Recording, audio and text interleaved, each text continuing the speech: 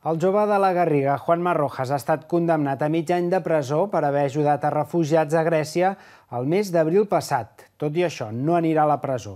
Justa, juntament amb el sabadellenc Arnau Rojas, ha estat declarat culpable per un jutge grec per desordres públics contra el govern però innocent d'actuar amb violència contra la policia de Macedònia i d'empitjorar les relacions entre Grècia i aquest país. Com que la pena és de pocs mesos i, la, i és la primera condemna, no anirà a presó. Tot i haver acceptat la sentència, Rojas ha reiterat que cap dels delictes dels que se'ls acusa és cert i que només van donar assistència als refugiats i van fer fotos.